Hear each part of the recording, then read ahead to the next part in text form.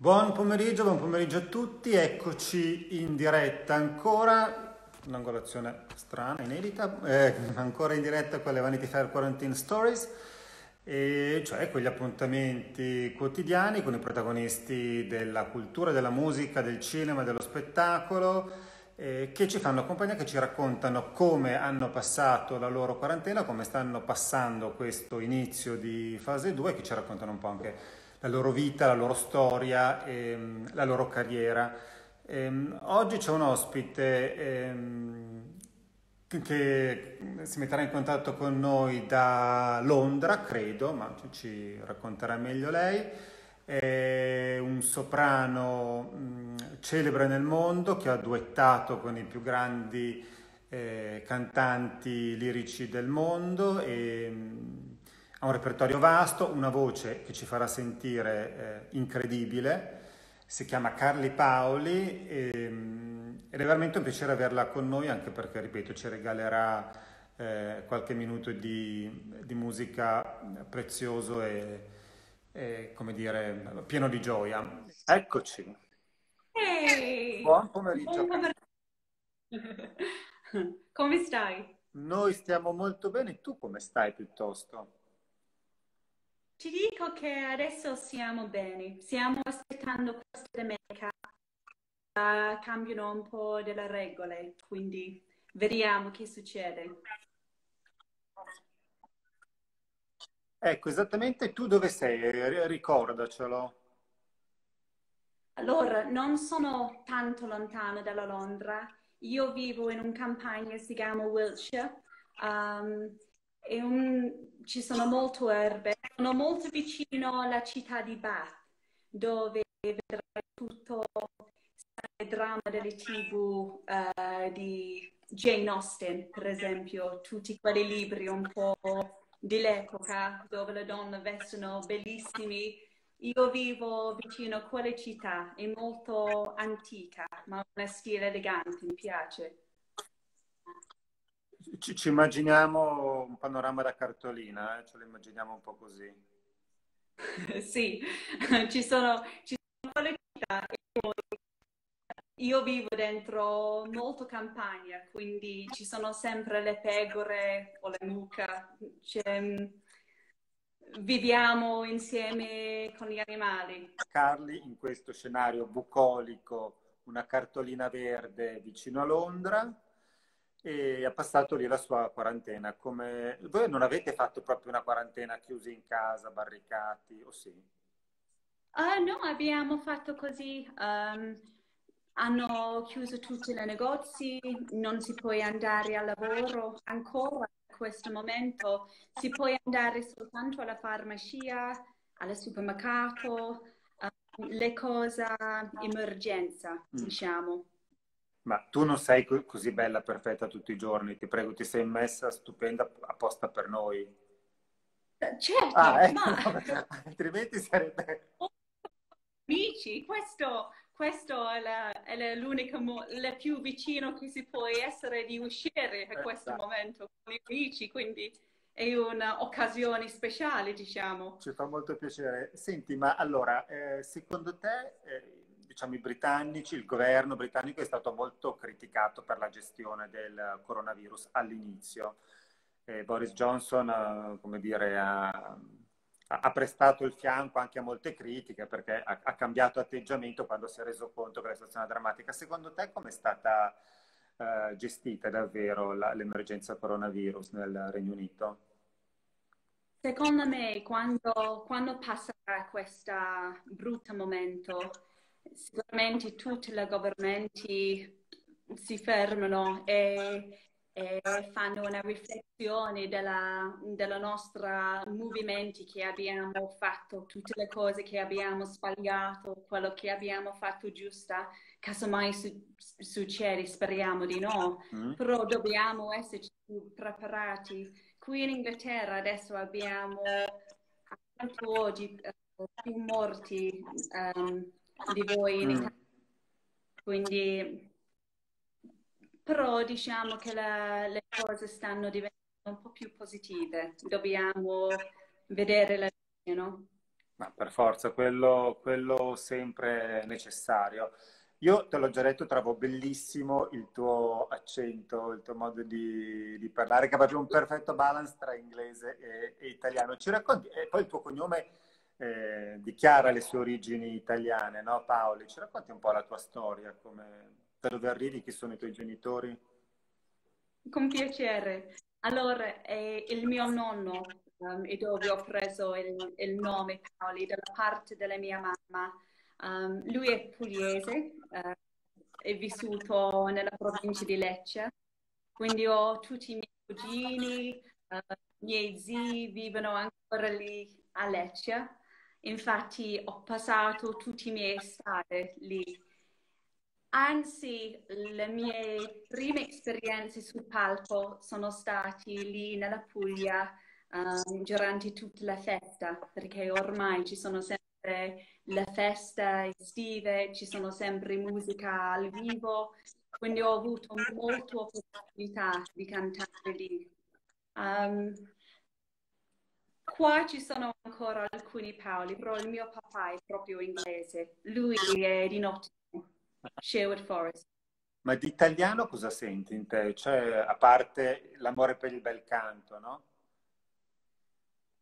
Um, se ti dico la verità, mi sento più italiana dell'inglese.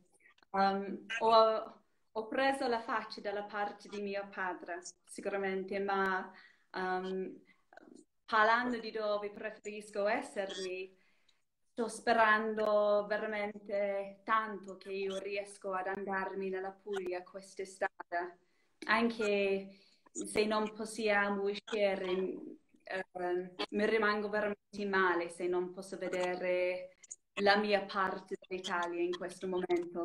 Ma secondo te quante chance ci sono di, di, di volare quest'estate così? non lo so, il mio padre faceva un camionista, quindi uh, non è un paura guidare.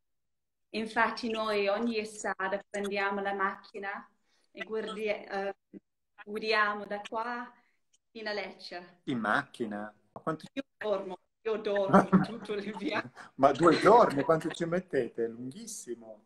Um, ci vuole un, un bel due giorni e mezzo, uh, notte in albergo, però così evitiamo a prendere l'aereo. Ogni tanto lui mi sveglia e mi dice, dai Cali, Svizzera, Francia. Ma non hai paura dell'aereo, no? Perché tu viaggi un sacco anche per, per lavoro, per esibirti ovunque. Non ho, non ho paura di prendere l'aereo, però um, sono un po' tesa di prendere in questo momento. Mm. Più di altro di portare i miei genitori o quelli che io amo um, sull'aereo insieme a me. Chiaro. Mm, senti, poi tu a un certo punto hai, hai, scoperto di avere un dono che è la voce, no? Qual è, quando arriva quel momento, c'è un momento in cui capisci esattamente di avere qualcosa in più, di diverso dagli altri? Come funziona? Quando avevo noia, uh, mia mamma mi ha portato a, ad un, una scuola di teatro um, dove si può andare ogni weekend. Um, lì ho incontrato una professoressa di canto è stata lei che ha preso mia mamma e lei aveva detto guarda che la tua figlia ha una grande voce. Um, adesso mi fa ridere perché la mia voce era sempre più grande di me. Ho, ho dovuto avere un po' di tempo per, per crescermi. Uh-huh. Um, lei mi ha preso come la sua studente e la, la, cosa bella della storia è che lei adesso è la mia direttore musicale, quindi viaggia sempre con me, quindi è diventato tipo un'altra madre, diciamo. Um, però lì è stato, quando avevo nove anni, ho avuto sempre il sesto sogno. E hai capito chiaramente che quello sarebbe diventata la tua vita, cantare? Sì. L'hai capito subito? Uh, sì. Um, a, a 16 anni ho, ho, avuto un borso studio per andare ad una, ad una scuola a Londra. È stato un momento grande per me perché dovevo dormire lì e sono una persona molto legata ai miei genitori. Quindi la mattina facevo lavori accademici um, e poi il pomeriggio facevo ballo, teatro, canto e poi dopo quello sono andata al um, Conservatorio della Musica. Vedi, sei italiana, legata ai genitori, vuol dire proprio che ce l'hai nel DNA essere italiana, no? Sì, però mia mamma non cucina come un no. pugliese, lei cucina troppo inglese, mi dispiace. Devo imparare io di più nella cucina. La prossima estate fai un corso in, uh, a Lecce e imparerai perfettamente. E, ehm, Magari. Senti, ma, ma, la voce poi è, è, come se fosse una pianta da, da, accudire, da innaffiare, da curare, bisogna togliergli le foglie, cioè va coltivata davvero tutti i giorni della, della vita, se vuoi avere, dire, se vuoi mantenerla eh, perfetta come, come nel tuo caso.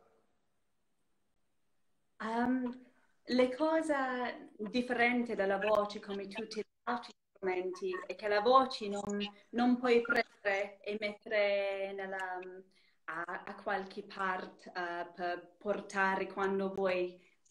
La voce porti sempre con te, quindi se tu senti stanco, si senti subito nella voce, quindi devi riposare bene.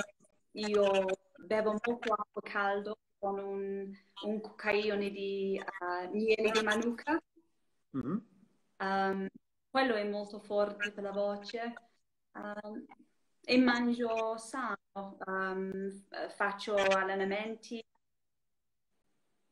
le solite cose per, sensibili per mantenerci bene nella salute, diciamo.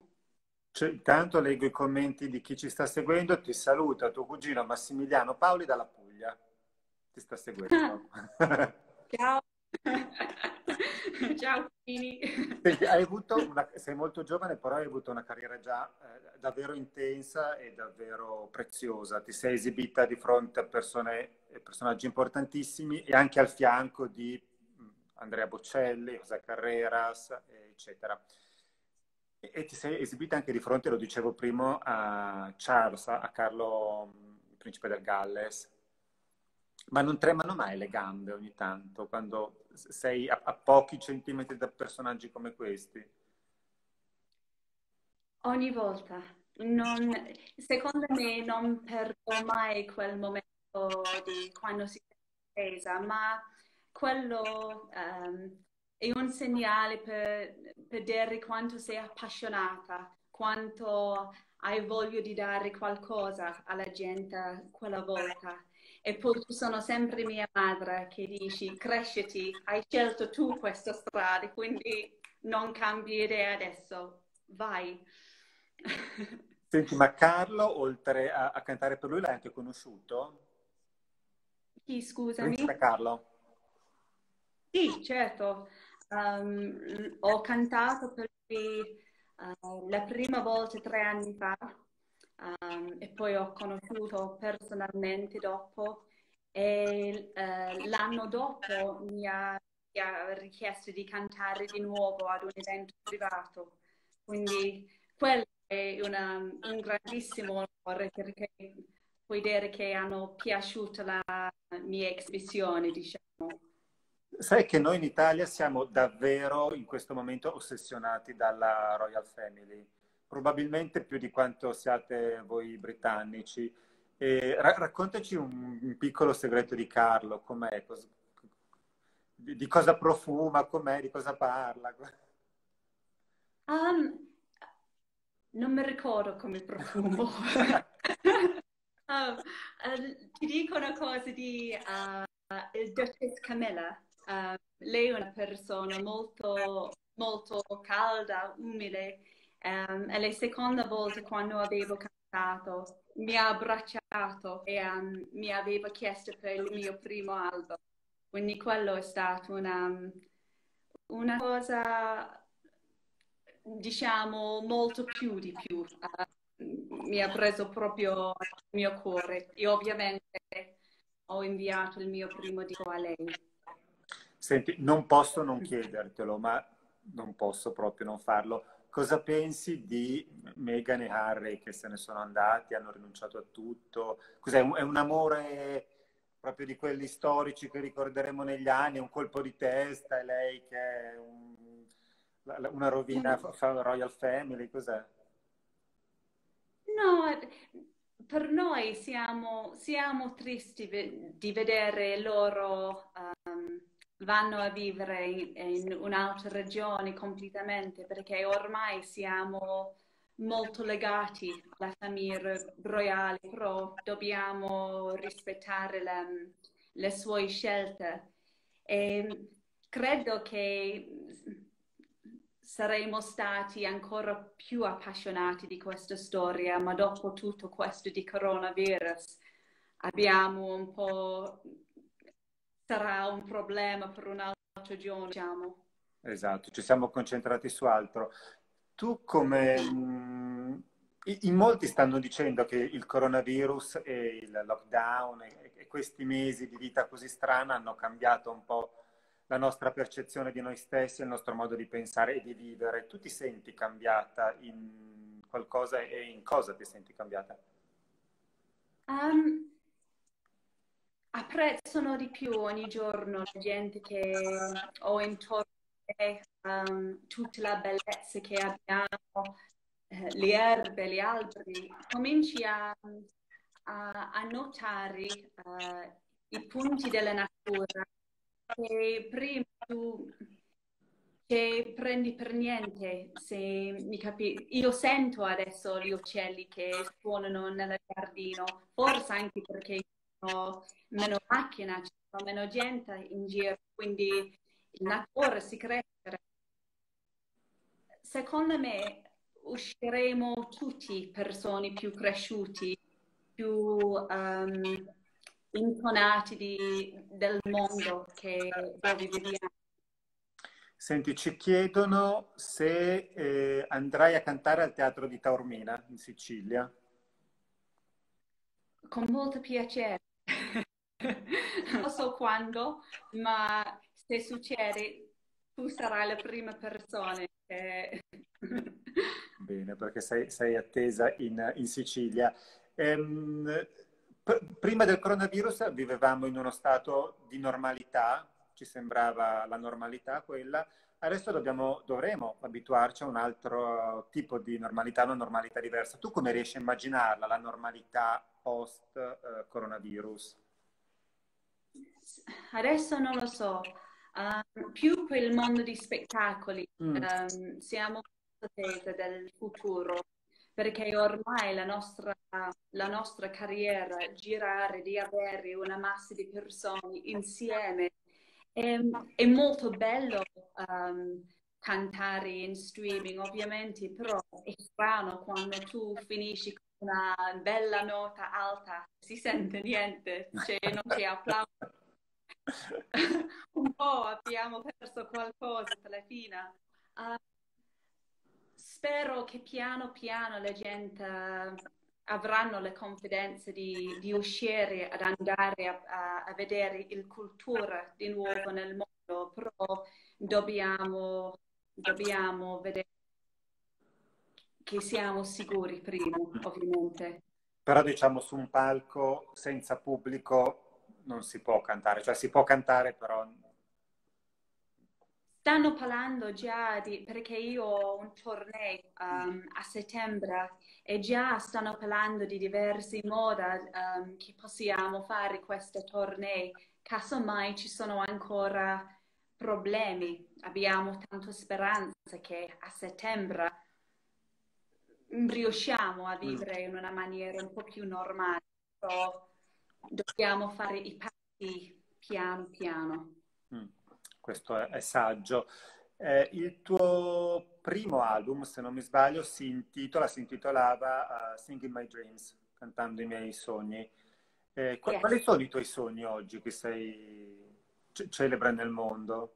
Spero che io ho cominciato a cantare perché ho sentito le voci di Garland, di Doris Day, questi grandi cantanti che riescono a raccontare una storia dentro la musica. Spero che ci sarà un'altra ragazza a nove anni un giorno che senta me cantare e avrà la voglia di, di seguire la stessa strada. È un bellissimo sogno questo. È anche un sogno di generosità in qualche modo, no? di, di, voler tramandare eh, la bellezza, no? Alla fine. Sì, um, che io penso che ogni talento è un, un dono della nostra Signore, quindi dobbiamo condividere quel dono nella maniera giusta um, nella vita. Il, il, tuo secondo, no, forse terzo album, il più recente, si intitola Due anime. Sì, quel, quello è la mia terza album. Perché c'era un live in mezzo, giusto? Sì. E due anime, io ne riesco a vedere solo una però, che è solare, sorridente, positiva, bellissima. Hai anche un'anima più scura, per così dire? Sì, quello io conservo per i miei genitori. Solo per i tuoi genitori. um, no, um, sono... No, non molto, sono molto aperta, diciamo. Um, siamo bene uh, al momento, bene quanto si può essere in, in questo momento, quindi no, non, non ho quella parte pura. E quindi quali sono le... Oh, po' giù, però... E, e, le due anime del disco quali sono quindi? Sono um, la mia anima inglese con la mia anima italiana. Quel disco è, um, è più il colore italiano, diciamo. Uh, ci sono nell'universo di Martini, ci sono la musica di Ennio Morricone, che sono un gran amante della musica suo, uh, Louis Baclav, um, c'è una bellissima um, versione della sua Mi mancherai del film Il Postino, quindi quello tutto colore italiano e poi come dicevi tu ci sono anche due canzoni cantate in diretta. E era un concerto che avevo fatto a for, Fori Imperiali a Roma. È stata la prima volta che hanno fatto un concerto lì e quello è successo perché um, la mia versione moderna di Ave Maria è stata scelta come canzone del giubileo di um, San Padre Francesco um, durante quell'anno. Ma il, il repertorio musicale italiano però ti piace molto, vero? Sì. Oh, certo, è la musica più bella di cantare. Anche le parole sono... Uh, già quando gli italiani parlano e, e ci sono una melodia dietro. E, senti, ma toglimi questa curiosità. Gli italiani in, uh, in, nel Regno Unito hanno ancora quel fascino da italiani? Cioè funziona sempre essere italiani? Non ho capito. Sai che gli italiani hanno un fascino all'estero, soprattutto nel Regno Unito, che da, da anni e anni e anni funziona sempre, sempre così? Sì, io um, um, sono molto orgogliosa di essere italiana. Um, abbiamo la, la, nostra moda, la nostra, siamo affascinanti. E poi abbiamo il cultore della musica. Il cultore della musica per me è cominciato in Italia che ci sono i grandi compositori che hanno riuscito a, ad adattare um, l'amore in, in, una, in, un mondo uh, che ti arriva nel paradiso, secondo me. Senti, prima di salutarti vorrei chiederti, perché ce l'hai promesso, quindi non possiamo non cogliere questa occasione, di intonarci qualcosina a, a, tua scelta, qualche nota, qualche, qualche secondo di, della tua voce preziosa. Um, ho, ho, preparato um, Somewhere Over the Rainbow per voi, se, se vi sembra una bella canzone per questo momento.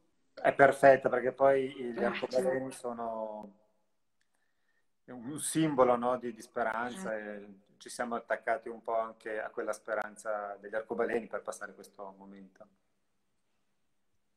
Mi allego con il mio, um, non so come, uh, gu- gu- non lo so come si chiama, la musica. Mm? Sto allegando con la musica. Um, ok.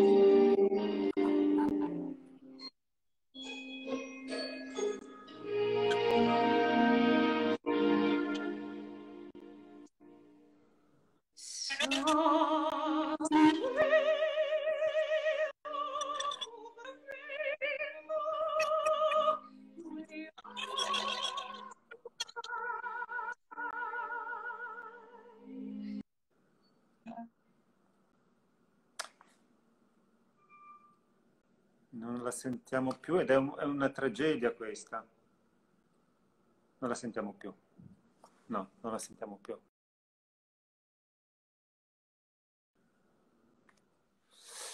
Mannaggia, eh, purtroppo ci siamo persi Carli sul più bello perché la tecnologia anche in questo caso non ci sta aiutando. Io spero tanti... È l'orario, quest'ora tutti troppo collegati, lo so. Lo so. Ci riproviamo però. No, no, ma non, preoccupatevi che eh, non possiamo non, possiamo non, non ascoltare Carli. Non, non, Comincio con la musica? Yes, please. Scusa. No.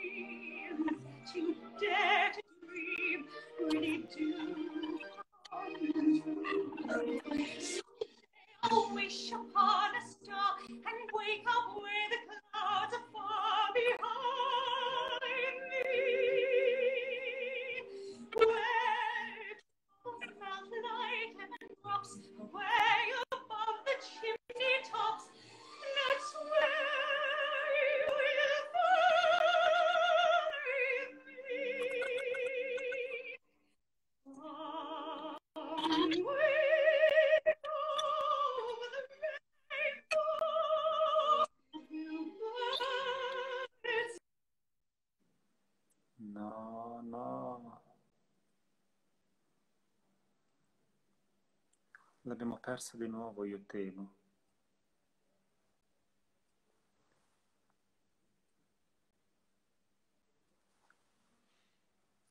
Beh, vabbè, ma grandiosa, ma io non la sento più, non la sento più. Chissà se ci sei. Aspetta. tornare. Uh, sono contento che l'abbiamo sentita perché è, un, è, uno spettacolo. Eh, le mandiamo, speriamo che ci...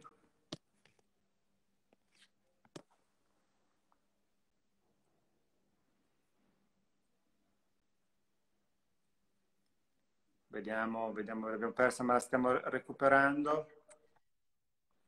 Mi allora. dispiace della problematica tecnica della casa mia. Scusa Federico. No, ma... Scusa tutti. No, ma, abbiamo, ma che scusa, dobbiamo ringraziarti noi perché intanto ti prego dimmi che era in playback perché è una cosa mostruosa quella che abbiamo sentito. No, è vero. Di la verità. No.